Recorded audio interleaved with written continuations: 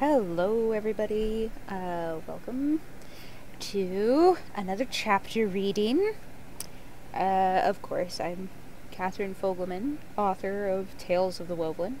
This is chapter 11 of The Dragon Son, the first book that I ever wrote, and I am now rewriting. I thought it was high time to uh, get up, get in another uh, update, chapter update. Things have been a little slow. I've been pretty, uh, pretty busy, uh, but trying to get in a little bit of writing every day, if possible. Uh, so, I have completely lost track of. Oh, wait, I have a book right here in front of me. Uh, I've almost completely lost track of uh, which chapter is what now. Uh, this chapter 11 is right after uh, Susan in the first book, or in the original, uh, right after. Oh, hey, look at this. All right, looking at my book now, my old, the original book. Chapter 10 was Trouble at the River, where uh, Susan and Keegan uh, met a creature that should not exist. As Susan fell into the river, nearly drowned Keegan and Ardor, his horse, had to save her. I have um I did do a little bit of changing to chapter 10, not a lot. The most of it's still the still the same.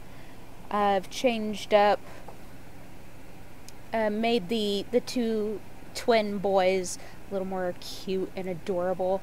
And then just increased the danger of it. Took a little more time to get into a, a description of the monster without interrupting the flow of, of the danger. And then right off the bat in chapter 10 i whenever you meet this monster you get the sense he's not necessarily trying to hurt anybody and then the whole thing everybody ends up in the river accidentally and you realize because this monster caused everybody to basically end up in there and just immediately got put in the mind of the reader this monster is stupid strong and dangerous. Anyway i'm not supposed to be talking about chapter 10 i'm supposed to be talking about chapter 11 so, anyway, because I increased uh, some of the danger and a little more uh, character progression and whatnot in chapter 10, uh, there's a little more bulk to chapter 10, so I had to essentially split it. So, where this would have been still part of chapter 10, I, I've had to split it. Um,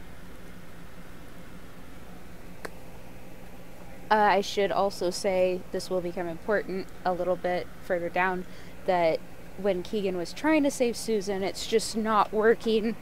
And now that I know a little more and have done more research on rivers and what it's like to get stuck in one and how almost drowning is like and everything, getting a little more correct on some of that, uh, I realized Keegan was definitely going to need some help getting Susan out. And so his ring flashed and gave him a huge burst of energy. And uh, very cool in chapter 10. But, yes, not without consequences. Uh, Alright, so this is the beginning of chapter 11. Uh, Keegan had kind of wrapped, uh, Saul helped Keegan pull Susan out of the water and everything, get them all situated. He helped Keegan get onto Ardor and loaded Susan up, and Keegan's taking her straight home. And Saul's braining the kids. So, uh, yes. Susan, what happened, Keegan? Uh, Jormund reached up as Keegan slowly lowered her into her father's arms. She fell in the river. We have to get her warm. Keegan slipped off Ardor's back and followed Jormund toward the house. The door opened, and two women stepped out. One of them was an older woman in a patchwork dress, holding a covered basket, a grass belt tied around her waist with a number of cut flowers and herbs hanging from it. A very small one legged owl sat on her shoulder. The other woman, Susan's mother, gasped and rushed forward. What happened? She took Susan's hand and held it tightly. Susan, speak to me. Marthian, run inside, get some of that hot tea brewing. The other woman shuffled forward and grabbed Susan's mother by the shoulders, gently pulling her out of the way and shoving her toward the house. You fellers take the child inside. Lay her next to the fireplace. Keegan narrowed an eye at the old woman, immediately recognizing her as the village herbalist. Well, you've got nice timing. Kama. The old woman grabbed Susan's feet and jerked her stockings off, rubbing her gray toes to warm them. I would have been all the way in town had that old man not sent me here. Said someone had gone and drowned themselves, and I was desperately needed. Thought he was fibbing till now. Keegan frowned. Doesn't take a scholar to figure out who sent her. Well, Neff. Of course it'd be that old man. Yorm- Jormund growled, looking at Keegan. Help Marthin clear the floor in front of the hearth, and find blankets. Keegan nodded, his eyebrows knit. He hurried inside and shoved the table and chairs farther to the side, while Marthin cleared away a few toys, and dragged a rug closer to the hearth. Once the floor was clear, Keegan helped Jormans rest Susan on the rug in front of the fire.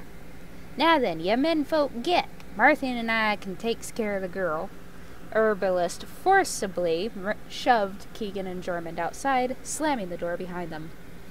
The two men stared at the door in silence until it opened and Marthin handed a blanket to Keegan with a shiv- quivering hand. Thank you, son. Get yourself warmed up. I'll have a cup of tea ready for you in a moment. Keegan took the blanket with a soft smile and, no- and a nod. When she closed the door, he stepped over to Ardor and began to rub the stallion down with the blanket. Where are the children? How did Susan fall into the river? She's more careful than that. Jormund began to pace. What happened? There was a monster. Keegan peered Cylon at Jormund. Looked human, but tall. Black fine fur over its entire body, cat like eyes, strong enough that it toppled Ardor. Seen anything like it? Jormund's eyes slowly widened at the description, then lowered. They shifted in thought for a long moment before he knit his brows, his face growing stormy. No, but I might know someone who does. Keegan raised an eyebrow. The old man? Jormund jerked his head up, his eyes sharpening. How do you know about him? Met him at the crossroads yesterday morning. Jormund's expression hardened. Dark things follow him like the plague. He's no good. He looked to the side, then glanced up the road. Where are the children? They're coming, bringing Susan's rescuer with them. An old friend. Jormund fixed Keegan with a hard stare. You didn't rescue Susan? Not alone. Keegan continued to rub Ardor down. Jormund sighed, rubbing the back of his neck. What happened to the monster? Ran further upstream into the forest. Keegan paused and looked back at the older man. I wouldn't recommend hunting it. Jormund let out an ironic chuckle. Form a hunting party? As if anyone would believe such a tale. Monsters are children's stories. Folk don't hunt fairy tales. Keegan snorted. You believe it, though? Jormund took a deep breath. You and I have both seen things. Enough to know it's unwise to believe otherwise. Keegan nodded, taking a deep breath. He leaned on Ardor as a wave of fatigue washed over him unexpectedly. He lifted his hand and looked at his ring. Sunlight glinted off the golden dragons on the silver band, and the sparkling red stone in the center faintly flickered with light. The warm energy that had been pulsing through Keegan's body began to fade, slipping back into the ring. He stood straight and shook the blanket out, wrapping it around his shoulders before taking a seat on a log next to the porch. Jormund continued to pace until the children came into sight with Saul, Telek sat on Saul's shoulders, and Marlik was riding the horse with Talia and Ma- Malia. Tila and Malia. Sheesh, I can't even get my own names right in this. Alright, my bad. Arden walked close beside them. Jormund hurried toward them. After speaking with the children, he greeted Saul with a handshake and took the little boy from his shoulders. Arden helped the other children down from the horse. Then they took the reins from Saul, leading the animal to the barn. Arden split off from them and hurried up to Keegan. Do you want me to rub Ardor down?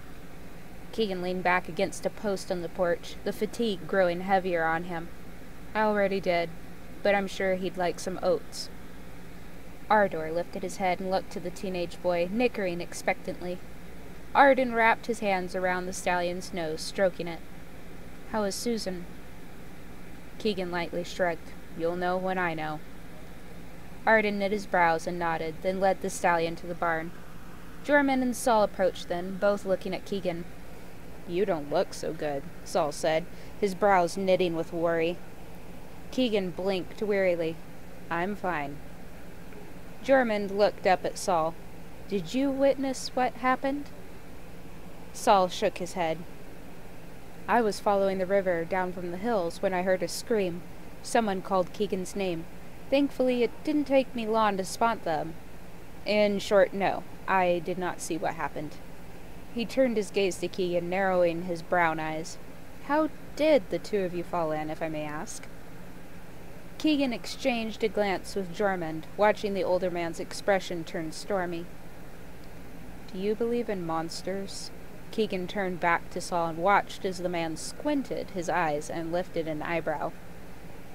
Saul eyed him cautiously before finally answering, Depends on what kind. Keegan closed his eyes, trying to think of a way to explain what happened to Saul. He cracked an eye open when he sensed Jormund move closer. The older man knelt next to Keegan, looking him over. You've gone pale. Are you sure you're okay, son? Keegan sighed, closing his eyes again. I'm tired. Keegan? Son? Jormund gasped and wrapped an arm around him as Keegan felt himself slip from his seat to the ground. Keegan! The desperate cries around him grew distant as his exhausted mind slipped deep into darkness. His last thought was why the warm uh, was why was wondering why. His last thought was I don't know. His last thought was wondering why the warm golden glow in his chest fluttered in panic. Yeah, I don't know. I'll have to go back over that. Keegan felt utterly alone. The screams of the dying raked across his ears. Bloodied swords cut through the air over his head. The mangled bodies of friends and family surrounded him. He was overwhelmed, his feet firmly rooted in place. Not again, his big brother, Braden, stopped a man in black armor from hurting Keegan, only to take an axe in his back. Tori was lying on the ground, his blank eyes staring at the smoky sky, the last vestiges of tears streaming down the sides of his dirty face. Somewhere in the chaos, Alia was screaming for help. Why am I living through this again? Through the mashup of memories and fears, Keegan could not look away from the scene that haunted him the most. He watched his father die again, stabbed repeatedly by the scarred man. Keegan pushed his fingers through his hair, gripping at his scalp, as he watched his father fall to the ground. His mother ran up to his father, screaming as she pulled him into her arms, unaware of a man behind her with a raised sword. Keegan reached out with a single hand. No! Stop! All of the chaos came to a sudden halt. All of the people were frozen in place. Keegan glanced around, all around him. Eh, yeah. Keegan glanced all around him. There was no movement anywhere. His eyes narrowed. This is no mere nightmare. His gaze finally settled on a shadow beyond his father and mother. It was the silhouette of a tall woman, black as midnight, weaving and rippling like a puddle of ink. Two icy blue eyes opened in the dark face of the silhouette, looking directly at him. Did I not spell silhouette right? I did not. Too many L's. My bad. Keegan recoiled in unexplained fear as something primal and cold crawled up his spine. You. you did this. You killed my family? Suddenly, she was directly in front of him, she towered over him, her soulless eyes boring into his. Keegan stumbled backward, nearly falling to the ground as her cold voice whispered in his head. No, you did this. Look again. Keegan ris- risked a glance to the side. His eyes went wide as he saw all the blood that had th- been spilled, forming a pool around him. He stepped away from the pool, but it followed him, splashing across his bare feet. He reached down and tried to wipe the blood from his skin, but to no avail. He turned back to the shadow, watching as the corner of its eyes narrowed with a smile. The power of life and death is held in your hands. This is why you will be mine. Keegan's heart beat like a drum in his chest. He had heard this woman's voice before, in the dream with Erewhon. He grit his teeth and glared at. Whoa. Glared at her. Who are you? The shadowy woman's eyes went wide. The world around them both shifted and bent, the images of the massacre fading away. Just as they disappeared, they were replaced by new images. Keegan glanced around, his jaw going slack. They stood in the middle of what had once been a mighty city, its towers and walls broken and smoldering. Shadows of people were imprinted on the stone walls, still sizzling, their hands raised in pleas of mercy.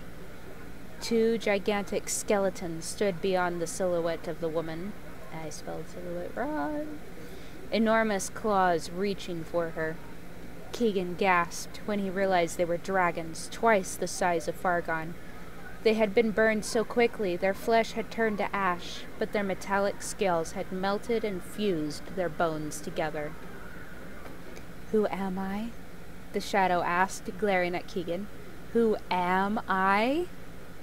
A slow, malicious chuckle reverberated from her, making her double in size. I am she of the forgotten people. She reached out with a shadowy figure, finger and touched Keegan's face, causing suffocating pain to erupt through his entire body. I am the dragon's foe, the paladin's doom, and the wovelin's bane. I am. A flash of light and a swirling mist erupted between the two of them, shoving the shadowy woman away from Keegan. Walnuff appeared in the swirling mist and pointed a finger at her. You are a monologuing witch, that's what you are. Nobody cares about your titles. He spun around to face Keegan. Wake up, boy, and make yourself useful for once. The shadowy woman hissed. Felnost, you meddling old. Old man? Keegan opened his eyes. He was standing in the corner of a little one room house. The floor was dusty and cobwebs were in the corners of the ceiling. However, a warm fire burned in the hearth with a pot of bubbling water hanging over it. Walnuff sat on a stool in front of the hearth, next to an empty rocking chair.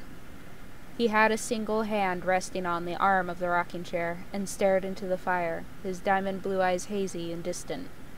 Falnost! Keegan recognized the angry voice. He watched as the door burst open. Jormund stepped into the room, his glaring eyes drifting to the old man's hand on the chair. His face softened the slightest for a moment before turning hard as stone. He fixed his brown his brown he fixed his brown eyes to the back of Walnuff's head. I told you to stay away from my family. Walnuff blinked and sat up straighter, taking a deep breath. And how have I gone against those wishes? Keegan told me he met you. I know you. Nobody meets you by chance. Jormund ran his fingers through his hair, his face flushing red with anger.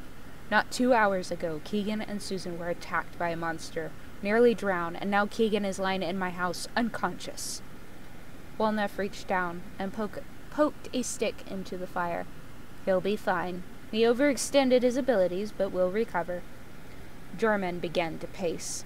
But what about when he wakes up? Will more monsters come after him, or after my little ones? I told you to stay away from my family for a reason, Felnost. Walnuff looked over his shoulder at the man. Keegan is not your son, Jormund. Therefore, he is not your family. Jormund lunged toward the old man, arms shaking with rage. He is my son! He is not my blood, but he is a part of my family, and I will not have you meddling and bringing calamity to my family. Walnuff narrowed his eyes, slowly standing to his feet, squaring his shoulders and facing Jormund. You know Keegan is different, Jormund. You have always known.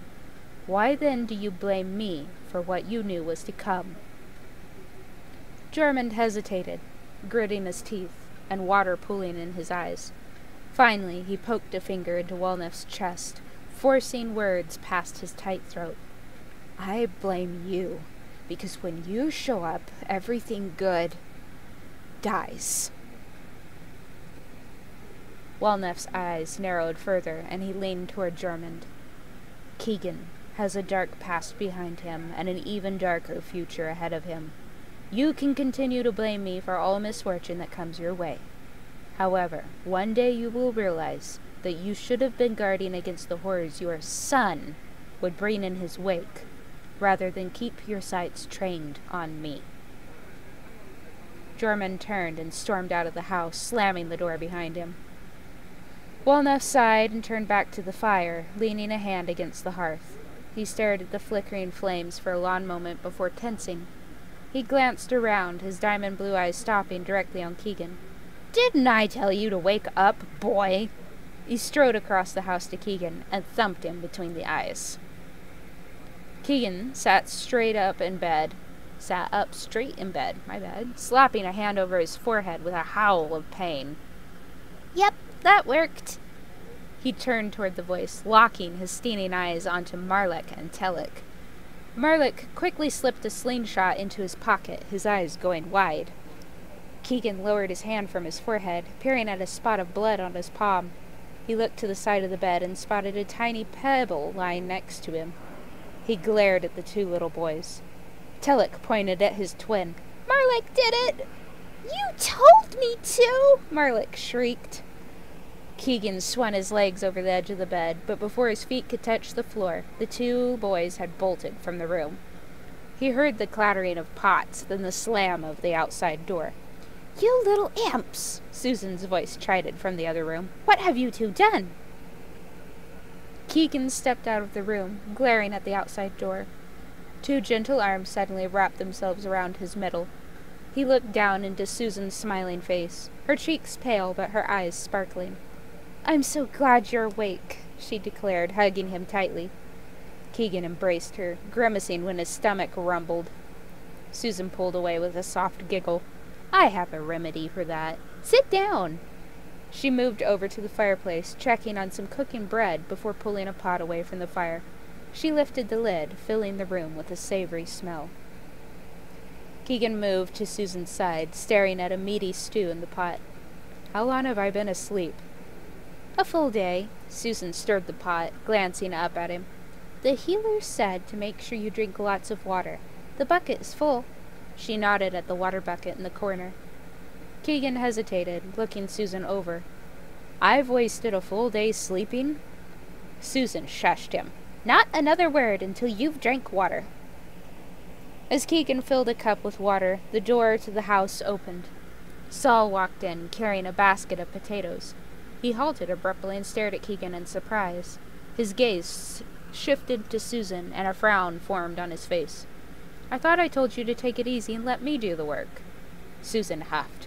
It's just lunch, Saul. Cooking a little meal won't kill me. Saul rolled his eyes to Keegan. Good to see you up again. Is Susan always on her feet? Susan narrowed her brown eyes at Keegan in a threatening squint. Keegan tried to keep a straight face as he finished off his water. I think she even sleeps on her feet. Susan placed her hands on her hips. Well, you menfolk do well enough outside in the field, but if it weren't for a woman being run off her feet, this house and those children would be a sad sight indeed. Besides, there's no telling what you would eat. Saul exchanged an amused glance with Keegan, then set the basket of potatoes next to the door. Steak and potatoes are pretty good. Not all year round. Really, it's a wonder men can survive without women at all. Susan used her apron to gingerly put a hot loaf of bread onto the table. Saul moved next to her, grabbing a rag and pulling the next loaf out himself. Susan stomped a foot. I'm not helpless, you know. Saul smiled. I know. Just take a moment to enjoy the extra help today. He pulled a chair out for her, then took the pot from over the fire, settling it onto the table. Keegan watched as the two went back and forth, a small smile turning up the corners of his mouth. They were already acting like an old married couple. Keegan had only just met Saul, but he'd known Susan for the last ten years. He'd never seen anyone get under her skin so easily. Keegan was no expert at relationships, but he did know where there's smoke, there's fire. Keegan ref- refilled his cup and took another drink as the two continued to bicker. Guess only time will tell. All right, and that's chapter 11. So, chapter 12, I'll be focusing on uh, Keegan and Saul kind of talking, uh, Saul explaining where he's been uh, for the last 13 years after the massacre, and uh, that he has been taking care of Alia and uh, Brena, and kind of just building the call to action for Keegan there. And um, yeah, I may end that. Uh, Keegan, I will have it where Keegan doesn't leave immediately because it is coming into summer harvest uh, for them, for Susan's family. So, uh, with that in mind, Keegan doesn't want to leave right away. He wants to help them take care of Harvest. And then Saul is like, yeah, that's okay, no problem. Uh, and planning to. He was like working in the south, and the girls expected him, Ollie and Brena expected him to be a while, a long while. And uh, so he's like, sure, I'll stick around. I'll help you with the harvest. We'll get it done faster that way, and then we can go together. So uh, that will be the kind of the basics of chapter 12, and I'm looking forward to getting to that. And also putting in little bits uh, to help further Saul and Susan's uh, relationship. So I think the two of them are absolutely adorable. So, yeah, anyway, uh, if you've read the original and the the first edition of The Dragon's Due, uh, let me know what you think of this new chapter 11 uh, versus like the second part of chapter 10 before. I I feel like personally gets a little more in depth for character, uh, helps kind of flesh out the thing going on between Saul and Susan there at the end, and uh, of course a new couple of new creep or a new creepy dream, and gets a little more into Walnuff too, kind of building some suspicion there. So uh, yeah, and if you've not read the uh, first edition of the Dragon's Son, then you can go ahead and leave a comment. Let me know what you thought. Uh, anything that you caught that you felt like could maybe be different or whatever. You know, hey, I like comments on the videos. I like seeing people's opinions. So, yeah, anyway, hope you enjoyed this. Keep an eye out for another update eventually. It might be chapter 13 or 14 that I update on. And uh, yeah. So, anyway, thanks for sitting through if you've gotten this far to the video.